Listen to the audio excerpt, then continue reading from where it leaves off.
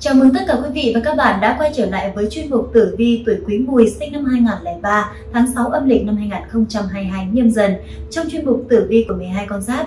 Lời nói đầu tiên thay mặt cho những người thực hiện chương trình kênh Phong thủy Gia Cát, chúng tôi gửi lời chúc tới tất cả quý vị, lời chúc may mắn, hạnh phúc, gặp nhiều thành công hơn nữa trong cuộc sống của mình. Quý vị thân mến, giới tử vi tâm linh học nhận định rằng tuổi mùi là một trong những con vật thông minh và khôn khéo nhất trong 12 con giáp.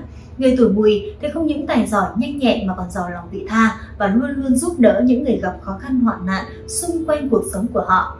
Và chính vì vậy mà những người tuổi quý mùi họ rất ham học hỏi, họ có thể thu thập cho mình thông tin ở bất kỳ đâu. Vì thế mà những người này có kiến thức khá sâu rộng, uyên thâm, hiểu biết nhiều vấn đề trong mọi lĩnh vực của cuộc sống. Và không chỉ có như vậy đâu ạ, họ luôn là người mang lại niềm vui và tiếng cười cho những người xung quanh. À, vậy nên trong tháng 6 âm lịch này thì họ là một trong những con giáp cực kỳ may mắn được thần tài chiếu cố, thần Phật độ mạng, ban phát tài lộc, hóa giải vận xui cho quý vị gia chủ tuổi quý mùi. Trong tháng này cũng mang lại cho quý vị gia chủ những cơ hội đổi đời. Nếu biết nắm bắt chính xác thì chỉ sau một đêm cũng giúp cho quý vị gia chủ tuổi quý mùi đổi vận. Và trước khi bước vào nội dung chi tiết, quý vị đừng quên ủng hộ chương trình bằng cách nhấn chuông thông báo và đăng ký kênh quý vị nhé. Còn bây giờ thì xin mời tất cả quý vị chúng ta hãy cùng đến với phần luận giải chi tiết đến từ thầy Gia Cát. Sau đây là phần tổng quan của các quý vị gia chủ tuổi Quý Mùi sinh năm 2003 trong tháng 6 âm lịch năm 2022. Quý Mùi sinh năm 2003 có mệnh mộc, dương liễu mộc, nghĩa là gỗ cây dương. Người sinh năm 2003, Quý Mùi thường có tính tình hiền lành, thích sự trầm ổn, không muốn gây nổi bật. Ai kết bạn với những người tuổi này thực sự rất may mắn, bởi vì tuổi Quý Mùi rất trọng nghĩa khí, sống biết trước biết sau, hết mình với bạn bè nên được nhiều người yêu quý. Thế nhưng đôi lúc bạn sống vì người khác quá nhiều nên khiến bản thân chịu nhiều thiệt thòi, tuổi mùi khó tránh khỏi những lúc khó xử. Trong tháng này, rất có lợi cho công việc học tập của quý vị gia chủ tuổi quý mùi. Mọi mưu sự toan tính đều dễ dàng thực hiện, mọi việc khó khăn đều có người giúp dễ dàng vượt qua. Vì thế cần tận dụng khoảng thời gian này để thực hiện những kế hoạch công việc, học tập mà bản thân đã suy nghĩ từ lâu. Những người tuổi quý mùi đã bước sang tuổi 20 trong năm 2022. Một số bạn ở tuổi này đã bước vào xã hội và bắt đầu lao mình đi kiếm sống và vấp nhiều hơn. Cái tôi của người trẻ rất cao, cách hành xử đôi lúc thiếu sự khiêm tốn, rất dễ vô tình đắc tội với tiểu nhân, làm ảnh hưởng đến sự nghiệp, cần đặc biệt lưu ý vấn đề này. Bên cạnh đó, bạn cũng nên để tâm nhiều hơn đến chuyện tình cảm cá nhân, đặc biệt là những đôi trẻ đang yêu. Hãy học cách bao dung và thấu hiểu cho nhau trong cuộc sống hàng ngày, đừng hở chút là cãi nhau, nếu không sẽ gây ảnh hưởng nghiêm trọng đến tình cảm giữa hai bên. Xét về thiên can, quý âm thủy gặp đinh âm hỏa nên gọi là thất sát. Trong tháng này, các quý vị gia chủ tuổi quý mùi nên cẩn trọng chú ý nhiều hơn trong công việc để tránh gặp phải thị phi không cần thiết. Khi gặp chuyện nên bình tĩnh đưa ra phương án tối ưu để giải quyết vấn đề, khiến mọi chuyện tốt đẹp, yên bình. Thứ nhất, về sự nghiệp quan vận.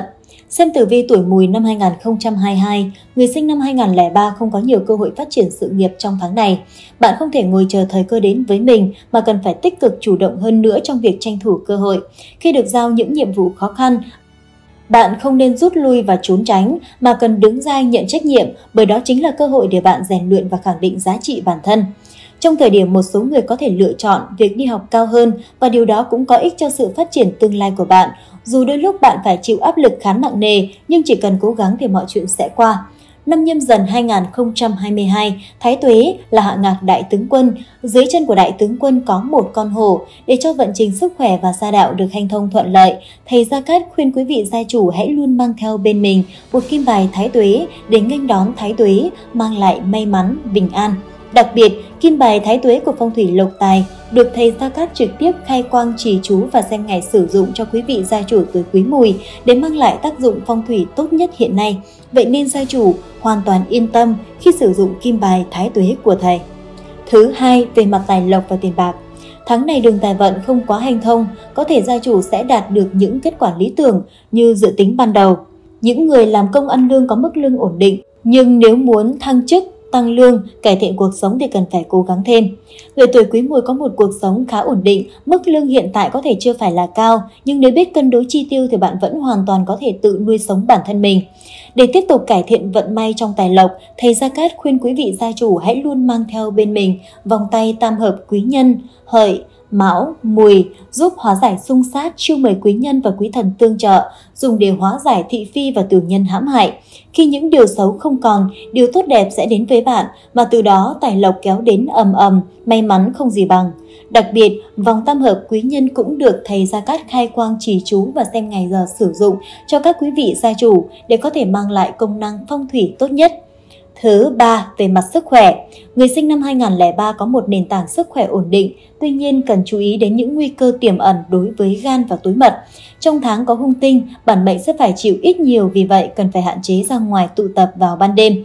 Cần chú ý khi đi lại, không nên điều khiển phương tiện giao thông khi chưa đủ tuổi cho phép để tránh tai nạn. Nhắc nhở những người tuổi quý mùi trong tháng này, trong năm này hết sức tránh việc hành động vội vàng, nóng nảy, kẻo sinh sự thị phi, Điều này không những ảnh hưởng đến uy tín danh dự mà còn khiến cho sức khỏe thể chất và tinh thần sụt giảm. Trước khi bắt tay vào làm việc gì, bạn cũng nên tự lượng sức mình, không nên cứng đầu cứng cổ bỏ ngoài tai những lời khuyên nhủ của người khác. Các quý vị gia chủ quý mùi hãy luôn mang theo bên mình pháp khí phong thủy bát bảo tâm kinh. Đây chính là vật phẩm phong thủy có tác dụng kỵ tà hóa sát, đem lại may mắn, bình an và sức khỏe cho quý vị gia chủ. Để vật phẩm phát huy được tác dụng tốt nhất, thầy Gia Cát sẽ khai quang chỉ chú và xem ngày giờ sử dụng vật phẩm theo tuổi của các quý vị gia chủ tuổi quý mùi. Thứ tư, về mặt tình cảm gia đạo. Gia chủ được các tinh chủ về đào hoa chiếu mệnh nên chuyện tình cảm có những bước chuyển biến nhất định. Dù là nam hay nữ thì bản mệnh đều dễ nhận được sự chú ý của người khác phái. Đối phương có thể là người thường xuyên giúp đỡ bạn trong công việc hoặc là người có ý định tiến đến với bạn. Bạn cần suy nghĩ kỹ càng trước khi đi đến quyết định cuối cùng, không nhất thiết phải vội vàng đến với ai, bởi vì bạn vẫn còn trẻ và có rất nhiều cơ hội. Trong gia đình, bạn nhận được sự tôn trọng của mọi người, nhưng cũng đừng vì thế mà trở nên kiêu ngạo. Có nhiều khi bạn vẫn cần phải chú ý lắng nghe góp ý của những người lớn tuổi. Tổng quan tháng 6 âm lịch năm 2022, tháng Đinh Mùi, năm nhâm dần.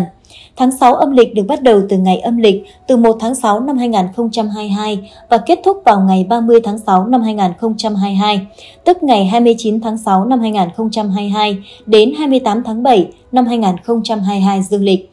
Tháng 6 đinh mùi có nạp âm là thiên hà thủy, tháng mùi, lục hợp ngọ, tam hợp mão và hợi thành mộc cục, xung sửu, hình sửu, hại tý, phá tuất và tuyệt sửu.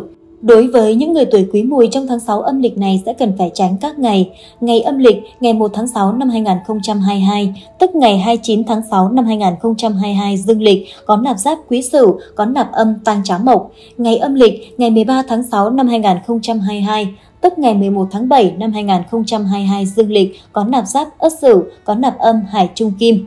Ngày âm lịch ngày 25 tháng 6 năm 2022, tức ngày 23 tháng 7 năm 2022 dương lịch có nạp giáp Đinh Sửu, có nạp âm Giản Hạ Thủy. Đây chính là 3 ngày không được cắt lành khi tính theo tuổi của các mệnh chủ tuổi Quý Mùi. Trong những ngày này, mệnh chủ cần phải hết sức chú ý và tốt nhất là không nên thực hiện những công việc quan trọng. Các quý vị gia chủ tuổi Quý Mùi trong tháng 6 âm lịch này có những ngày tốt như sau.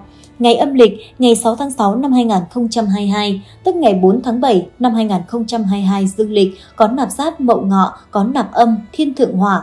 Ngày âm lịch ngày 18 tháng 6 năm 2022, tức ngày 16 tháng 7 năm 2022 dương lịch có nạp giáp canh ngọ, có nạp âm lộ bàng thổ. Ngày âm lịch ngày 30 tháng 6 năm 2022, tức ngày 28 tháng 7 năm 2022 dương lịch có nạp giáp nhâm ngọ, có nạp âm dương liễu mộc. Đây chính là 3 ngày cắt lành trong tháng để các gia chủ tiến hành các công việc liên quan đến xuất hành hay tiến hành những công việc quan trọng sẽ dễ có kết quả cao hoặc những vấn đề nhỏ trong gia đình bạn tiến hành đều hết sức thuận lợi. Ngoài ra việc lựa chọn ngày tốt cần phù hợp với tuổi của gia chủ trong những công việc như tiến hành động thổ, ngày giờ mua xe mới, ngày giờ cưới hỏi. Để chọn được ngày giờ đẹp phù long tương chủ, ngày giờ tài lộc của gia chủ, anh chị và các bạn hãy để lại thông tin dưới phần bình luận theo mẫu họ tên cộng ngày tháng năm sinh cộng số số điện thoại hoặc anh chị có thể trực tiếp liên hệ đến số hotline hiển thị trên màn hình để được tư vấn hoàn toàn miễn phí. Thưa quý vị, trong cuộc sống thì không phải ai cũng luôn gặp được may mắn và thành công. Mỗi năm vận hạn của mỗi người sẽ khác nhau và chính vì thế mà chúng ta luôn phải vững tin vào cuộc sống để trông gai này. Qua phần luận giải của phong thủy gia cát thì quý vị tuổi quý mùi đã phần nào nắm được vận hạn của mình trong tháng 6 âm lịch này và từ đó sẽ có những bước đi vững chắc hơn trong tương lai. Chúc tất cả quý vị chúng ta có thật nhiều may mắn, thành công và bình an viên mãn trong cuộc sống. Còn bây giờ thì chúng tôi xin nói lời chào tạm biệt. Hẹn gặp lại tất cả quý vị trong những nội dung tiếp theo.